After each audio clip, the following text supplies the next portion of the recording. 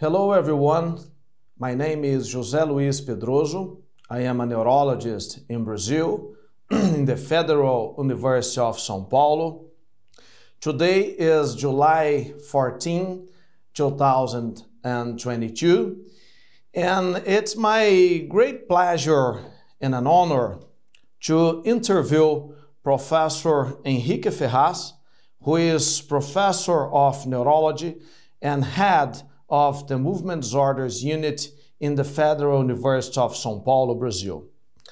And to start this interview for the International Parkinson's Disease and Movement Disorder Society, the MDS, I would like to start with a simple question.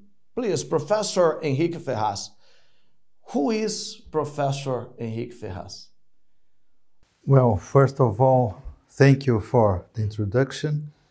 Uh, it's a great honor for me to be here to, to give a report about my career. And it's a pleasure to be interviewed by you, Pedroso, who is a, a very close friend. Well, your question, who is Henrique Ferraz?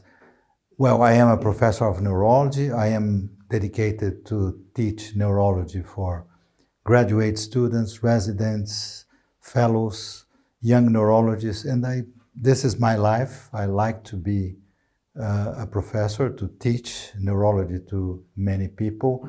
And I am also a clinician and I have a, a clinical practice that I, I love a lot. Wonderful. Uh, Professor Henrique, uh, I have a simple question, but it's very important uh, for youngest neurologists and uh, for uh, our friends. Why did you decide to go for neurology? And particularly, why did you decide for the study and for the field of uh, movement disorders? And as well as that, uh, tell us how was the beginning of your career? Well, in the very beginning, I decided to, to study medicine when I was 17. Uh, I was in my hometown, Londrina. It's a, a town in the inner part of Brazil. At that time, when I decided to study medicine, 1975, uh, the town had 300,000 inhabitants, and I decided to go for medicine. I had a, a role model model in my home. There was I lived with uh, an uncle and my grandparents, and my uncle was a neurosurgeon. He was a very kind uncle, he was very charismatic, and my decision was uh, mainly based in his the way he was. And I had a, a, brother, I have a brother that decided to study medicine as well before me. Uh, and that the decision of my brother spurred me on to medicine. And then I decided to go for medicine. And I entered the college in 1975 and I finished my graduation 1980. And my first, my first decision to what, what I would work with after the graduation was my, my intention was to be a general practitioner. But when I was at the end of the college, uh, right, right uh, to receive my degree of doctor, I was uh, not completely comfortable to go for a small community to be a general practitioner.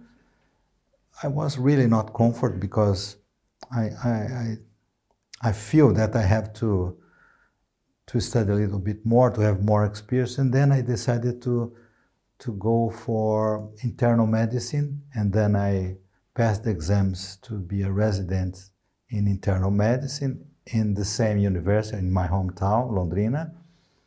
And then I started internal medicine, and in the second year of my residence, I I rotated in neurology, and I became fascinated by the way my professors uh, construct the, the, the, diagnosis using elements of the anatomy and semiology. That fascinated me. And then my decision, yes, I, I, I believe I will be a neurologist. And that, that I had my uncle who was a neurosurgeon and my brother who also was uh, training to be a neurosurgeon and I, well, I would be a neurologist. And then I decided to go to São Paulo, to Escola Paulista de Medicina, the Federal University of São Paulo, where I work today, to go for uh, the residency in neurology. And that was my, my, my life until that time. I entered in, uh, Escola Paulista de Medicina in 1982, 1983, sorry, and I became fascinated by the atmosphere of the university, Federal University of São Paulo, uh, the academic life there. It's really amazing, and I became interested in the academic life, and that was my decision to be a, a professor and to start the academic career. Thank you, Professor Henrique, for sharing with uh, us this amazing history. And um, this is a very interesting question that I would like to do uh, because you know that uh, our mentors, our professors are part of our academic life. We learn so much with them. And uh, my question is which professors or mentors inspired you during your uh, undergraduate and postgraduate? And who was your mentor and how uh, did that motive you to move on the academic journey and scientific work along the years in the field of uh, movement disorders? Well, I have I have had a lot of uh, inspiring professors in Londrina and in Escola Paulista de Medicina, Federal University of São Paulo, but two inspired me most. Uh, the first one was Professor Eliova Zukerman, who was a professor of neurology at Federal University of São Paulo. He was a very, very good clinician. He inspired me a lot because he had a very keen perception of the patients. He, he was good in on making diagnosis and thinking about the process of the disease of the patient. And he was always very supportive with the issues of my career. And every time I, I, I brought him my problems, the, the questions that I have raised in my career, he was always very supportive. Unfortunately, he passed away six years ago, and I miss him a lot. The other professor who inspired me, he is my mentor, uh, is Professor Luiz Augusto Andrade. He worked in uh, Escola Paulista de Medicina at the Federal University of São Paulo. Uh, at that time, he was he is one of the founders of movement disorders in Brazil, together with Professor Egberto Barbosa of the other university in São Paulo, University of São Paulo, Professor Barbosa, and Luiz Augusto at the Federal University of São Paulo. He was at that time, 1983, 4, and 5, he was starting and spreading the knowledge of movement disorders around Brazil. He was traveling a lot, giving lectures, training other people in other universities in Brazil and he was a very good professor. He he knew a lot of uh, of the medicine and the neurology as a whole, and he was starting movement disorders, and that fascinated me. And I started a fellowship with him in 1985. At that time, he had had three other fellows before me, but none of them decided to stay with him. And I was the only uh, doctor with him at that time, and I had a lot of work to do because I was alone with him. And he traveled a lot at that time. He was traveling a lot, giving lectures and other universities. and in meetings and congress, and I had to to deal with the patients, to to prepare classes, and to to to go for clinical rounds with the residents, and it was a, a very fruitful time for me, and I learned a lot, and I had almost uh, when he was in São Paulo, uh, every day we had discussions with the patients. Uh, I, I, used to show him the, the videos of the patients, discuss the diagnosis, the treatments. It was really very, very good for me because I, I, I learned a lot with him. And uh, at that time, uh, I, I was his fellow for two years. 80s, uh, 1985 until 1987.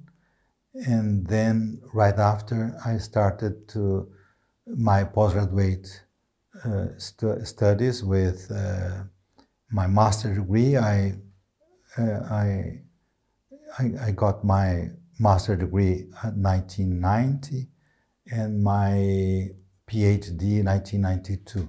Yes, uh, in fact, Professor uh, Augusto Franco de Andrade and Professor Egberto Reis Barbosa, the found, founders of um, uh, movement disorders uh, in Brazil, they uh, contribute a lot. I had the, the, the great opportunity to uh, learn with them and particularly highlighting the, the phenomenology in movement disorders, the clinical features, and it's very important for uh, movement, the study of movement, movement disorders. And, yes, at that time, and I stayed with him as his fellow, and then after his postgraduate student, and then his colleague for 12 years. And unfortunately, Professor Andrade retired from academic life in 1997. And I regret a lot for his early retirement. And I was with him at that time when he decided his retirement. And I was, I could say that I was in the right place in the right time because I took it over after him. But I believe that I would be better if I would be with him all this time. I have, uh, I, I, I am with him very frequently nowadays, but he's only his private life, but we talk a lot and we exchange information all the time. You were very lucky to have yeah. Yeah. Uh, two uh, great professors, great mentors. Um, another question to talk about your uh, research activities. Which were your first research uh. activities in the university, and what are those studies you consider the most relevant in your scientific career? Okay. Well, the first studies that I have carried out, I believe, well, when I was starting my fellowship with uh, Professor Andrade, he first asked me to organize the files and the videos of the patients. And at that time, 1985, so dystonia had been recently defined and classified by Fahn, Marsden, and Calne. And he asked me, please organize the, the file of patients of dystonia. And then I decided to to go over the, the files, to the records. Too the, many patients. Too many, yes, more than 100 patients. And I had to organize them. And then we decided to, to write it down, the, the all the the, the files, the, the, the, records of the patients. And was it in the computer? no, it was in the typewriter that occasion. The computer was okay. starting in our lives. And then we published uh, the idiopathic cases, it was almost 80 patients. We published here in Brazil in Arquivos de Neuropsiquiatria. It was a very nice uh, report of the case, and we published the symptomatic case of dystonias with thorough uh, exams and uh, record, records in Canadian Journal of Neurology in 1990, I believe. This was one of the first activities in my research career. And at that time, uh, simultaneously, Professor Andrade came up with the idea of studying patients who we had seen at that occasion coming from a region next to São Paulo, a rural area next to São Paulo of this green belt of São Paulo, producing vegetables and other products that came with uh, Parkinson's disease. Uh, patients were very young, around 30 years of age. Two patients from the same regions, they were not related to each other, uh, that they were involved in tomato plantation. And then Professor Andrade uh, asked which kind of uh, pesticide they use, and they provide the names of the pesticides. And then there was a, a pesticide that contained manganese in its formulation. And then Andrade made the relationship where manganese and Parkinsonism, maybe there is a relationship.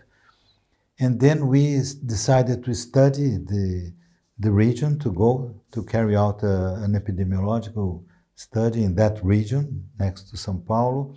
And we studied a cohort of individuals working with uh, the plantation, spreading the pesticide they used no protection, no gloves, no masks to, to spread the, the pesticides. And we compared to a control group of patients of the same area who were involved in uh, truck loading of the production, not with not uh, contact with the pesticide. And we was able to, to find that the individuals of the exposed group, they had mild signs of uh, uh, manganese intoxication. They have nervousness, insomnia, some behavioral abnormalities, tremor, postural tremor, and some had some rigidity, rigidity. And we we guessed that there was mild uh, in, mild signs of uh, manganese intoxication, but we could not see any Parkinson's disease patients in that cohort of, of individuals.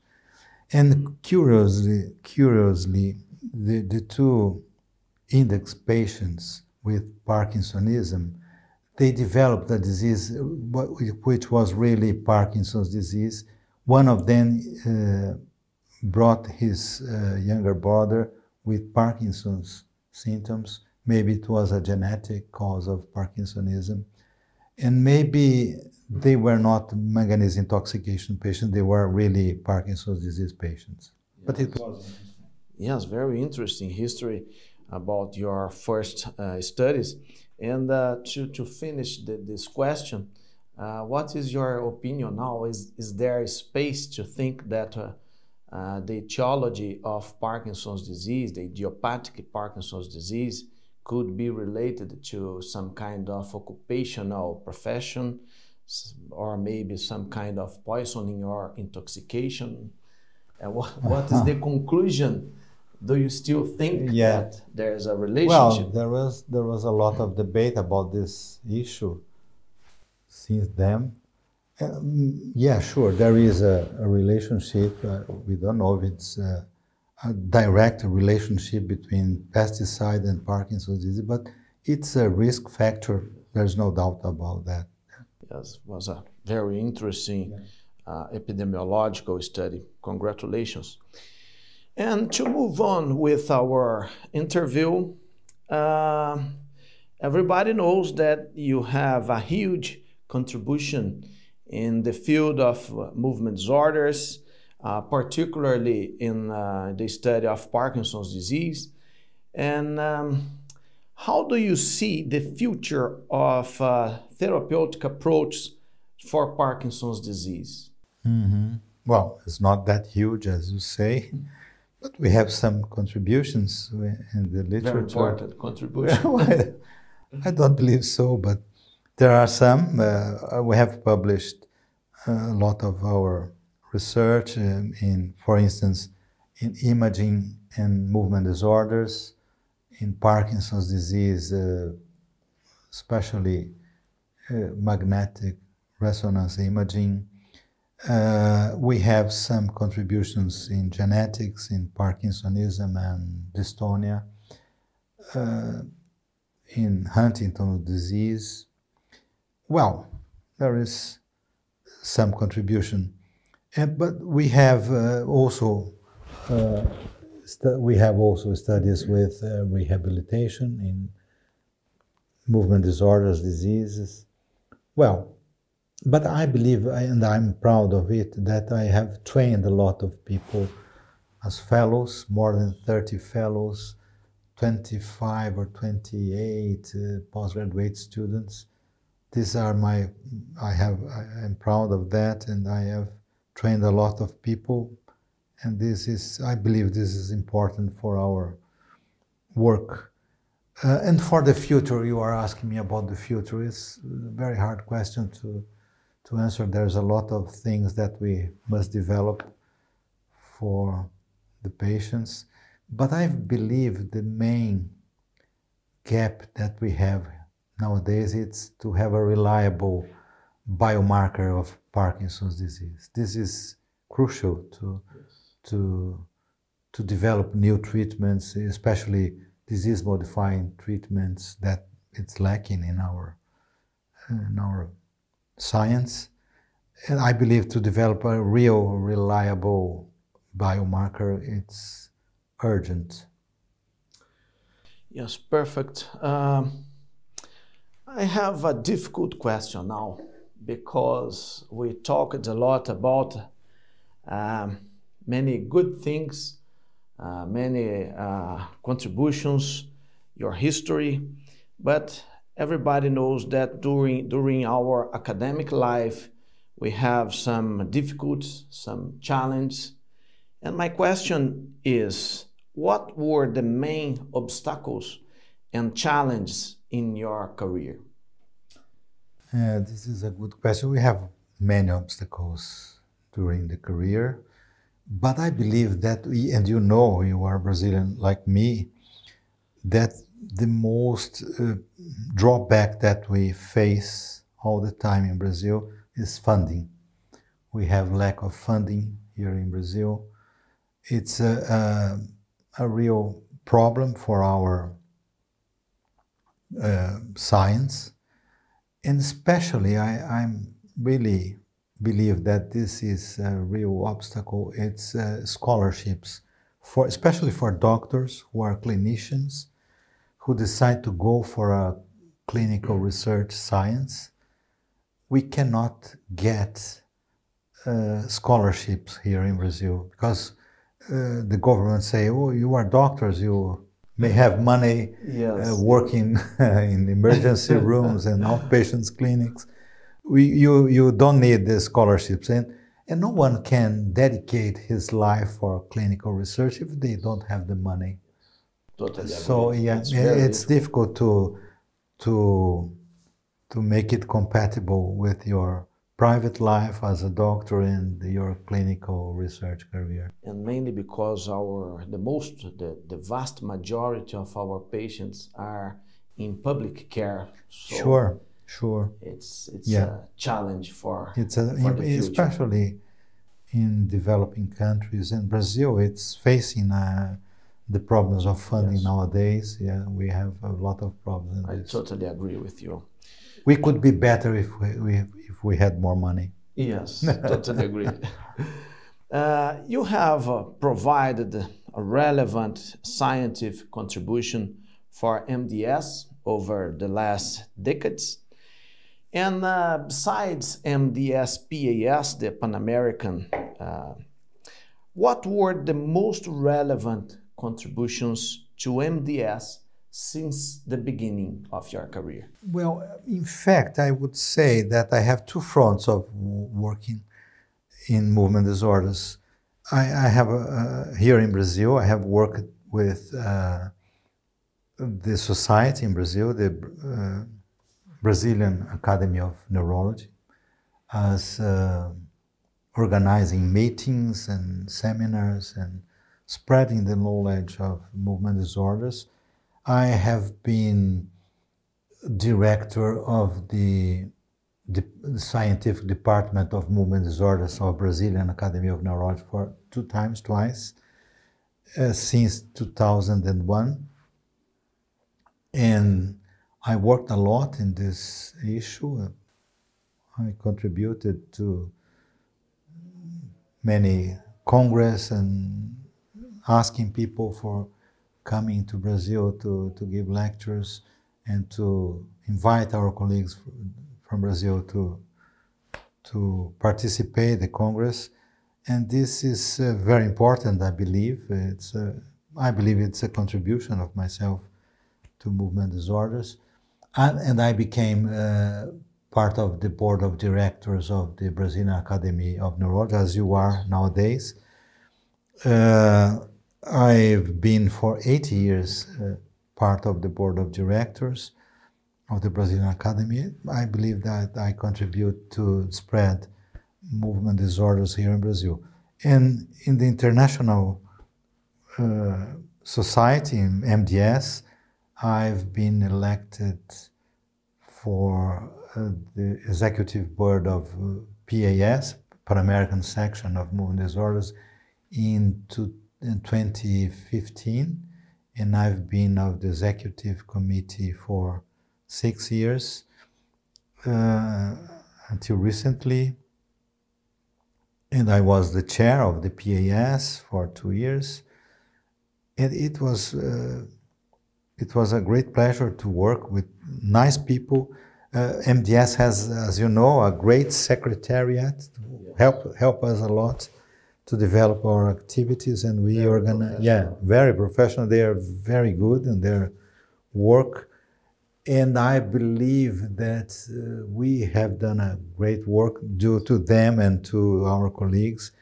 I was succeeded by cindy comella in the pas section and now by susan fox. They both have done a great work in the society, they are still doing great work, and we are growing up on and on. And I believe it's yes. it's good for our society. A relevant work, yeah. wonderful work. And I hope to, to, to still contribute to our society in the coming years. But, but considering MDS, I still have a final question.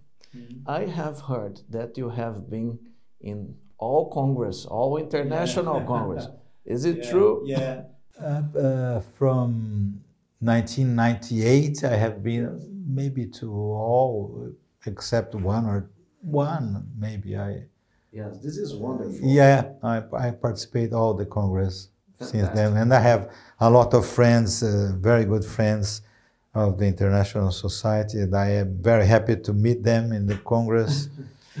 really fantastic. Yeah, yeah. So, Professor Henrique Ferraz, I have a final question.